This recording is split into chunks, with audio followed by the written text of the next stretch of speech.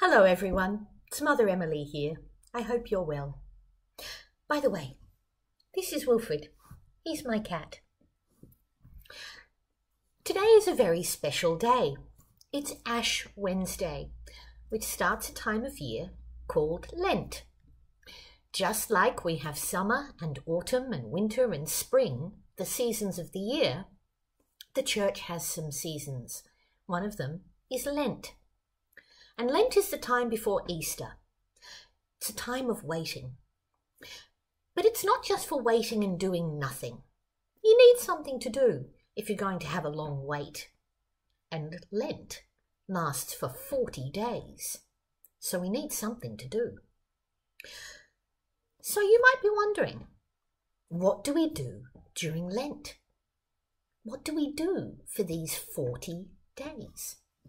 Well, I have a friend here with me, not just Wilfred. This is Ferret Bueller. Hello, Ferret Bueller. Oh.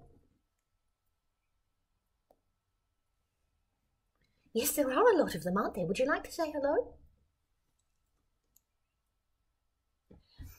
Ferret Bueller says hello. So, do you have some advice about Lent? What is it? Slow down. Am I talking too fast? Oh, so I'm not talking too fast. So what do you mean? Oh, slow down and take some time to think. What should we think about? Ah, we can use the time of Lent to think about Jesus and we can try and be like him.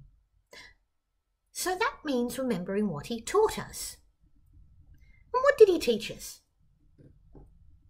Love one another, yes, he taught us that. And look after each other. That makes a lot of sense. So we love each other and we look after each other during Lent. So we can spend some of this time making sure that we're caring about each other and making sure that we're being kind to each other. I think that's a really good way to use Lent. There's more. Ferret Bueller reminded me don't forget about prayer. Prayer is important, it's our time with God. And just like you spend time talking to your friends, you can spend time talking to God in prayer. And Lent is a really important time to do that. It's a chance to make sure that we know that God cares for us and will listen to us when we pray, and that we can tell God about the people who mean a lot to us people in our family, our friends, those who care for us, like our teachers, all of those people we can pray for.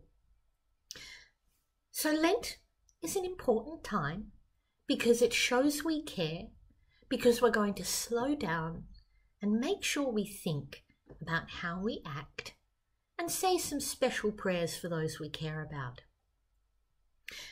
I think that's a pretty special way to use these 40 days. I'm going to spend my Lent doing that. Would you like to as well? I hope you do. You're going to as well? Excellent. Would you like to say goodbye to everyone? yes, Ferret Bueller says goodbye, and so do I. Have a wonderful day. Oh, and it's goodbye from Wilfred. Bye bye.